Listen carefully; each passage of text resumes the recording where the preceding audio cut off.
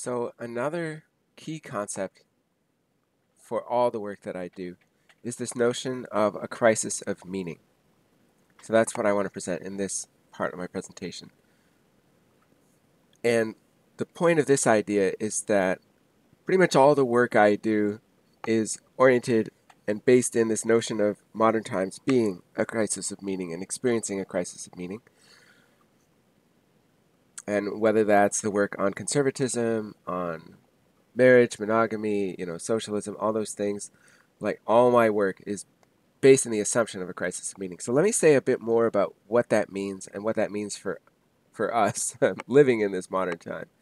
Um, so conservatives will you know, sort of claim that something very recent is a cause for the decline from the golden age that they're talking about, um, that they're vaguely pointing to. Um, but it's it's really not true. I, if you're really looking for the sources of a crisis of meaning in modern times, I mean, it's hard to not start with the Protestant Reformation at the very latest, um, if not the Renaissance before that.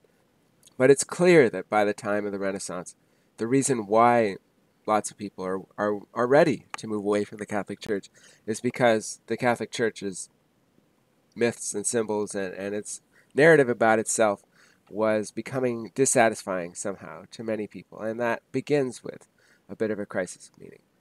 But maybe maybe the most modern articulation of it is Nietzsche declaring that God is dead and that we killed God with by not needing God anymore. That's exactly what modern means. Modern means a break with the past. And so modern times really is a time where like in autonomous reasoning, we're breaking with the past. Um, in any case, um, I would say that the issue has become um, more acute since the Industrial Revolution, and um, and thus throughout especially like the you know 20th century when we're entering a stage of more like late capitalism with um, uh, like shareholders rather than direct owners of businesses. Um, there's a lot of reasons for this, and probably probably I'll be making another video comparing um, this modern crisis of meaning with the ancient crisis of meaning that struck the Greeks and led to Greek philosophy in a similar way that the modern crisis of meaning uh, led to the Enlightenment. Um, but Charles Taylor, um, philosopher of um, self, wrote in 1992 about you know the malaise of modernity, the disenchantment of the world, a loss of the heroic dimension of life, and a notion that instrumental reason, I've been telling you about that in, in terms of the Enlightenment, that instrumental reason threatens to take control of our lives and also worries about the disappearance of moral horizons. So if we push sort of self-interest as like as one of the most important forces in society, um, there's also a worry about moral horizons and heroic living. Theologian Paul Tillich, I think, one of the best analyses of modern life, uh, even for non-Christians, a very worthwhile read. Um, talks about a spiritual void produced by the Protestant Reformation and like I mentioned, the autonomous reason of Enlightenment society. So Tillich is a Lutheran, so for him to talk about Protestant Reformation creating a spiritual void, uh, you know he's a good read. Uh, but you know the main thing to say is that this has been uneven, and the crisis has looked like a lot of things over the past five centuries. You know, since the Protestant Reformation. Um, and for one, it hasn't always looked like a crisis of meaning. Um, in Luther's day, it looked like a crisis of guilt. Luther was just racked by guilt. Martin Luther, um, the, uh, the the founder of the Protestant Reformation, uh, absolutely racked by guilt. Um, the symbols and myths of the Catholic Church were not helping him relieve his guilt, which is a sign that they were starting to weaken, at least for him and for others that supported him. Um, but even in Luther's day, uh, you know, not everyone was racked by guilt the way that Martin Luther was. Um, and so, you know, what we the first thing to say about these crises is that they're extremely uneven. And even the crisis of meaning today is not saying that everybody's living in a crisis all the time or that everybody will even experience a crisis in their lifetime. Um, and there are many people whose lives are profoundly meaningful Um, and they'd be like, I don't know what you're talking about. And yet, you know, if you read a bunch of literature from, you know, Martin Luther's day, uh, you see the guilt. It's nonetheless a theme, even if it's not everybody. You you sense um, the, the the anxiety about punishment and, and forgiveness.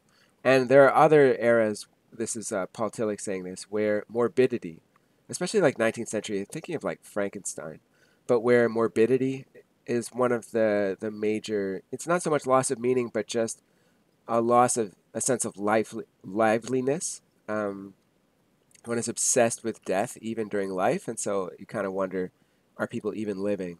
Um, but ever since Nietzsche, the crisis of guilt, the crisis of morbidity, and obsession with death has really transformed into a crisis of meaning where one of the traits of modern times is an emptiness, a sense that we are living sort of mechanically and um, you know self-interest but living within a large mechanism. And then we've lost like the sort of meaning the deeper meaning of that mechanism or at least lost sight of it. And um, and it's not to say that everybody is struck by this emptiness but you know when you think about i don't know suicide like suicide has always existed but you just feel just reading the literature as a whole of, of the era um, so many books about about people struggling with meaning and and um, uh, Catcher in the Rye or, or whatever, or, or the Phonies. Um, you know, there's so many books about people struggling with meaning, and also just from our own experience, people not sure what the purpose of existence is. So it's uneven, but when the crisis kind of hits, and it hits especially during times of economic downturn, you know, at times when the things that we can sort of quote unquote fill our lives with or even distract ourselves with become less accessible because we have less money and so we're focused on the bare bones of existence but then because the meaning of our life was fragile anyway and we're just living to live um, the crisis comes out and you know i would argue that conservatism is essentially a reaction to uh, this crisis of meaning um, conservatism is essentially you know, a complaint about it. And even though the solutions that it proposes are actually not very related or even very helpful for the problem that they're underlining, nonetheless, that's one of the big contributions of conservatism is to underline this crisis of meaning and to say, hey, this matters and this needs to be in the public sphere. And I would agree. I think I think it is an important public issue um, that society benefits from naming openly.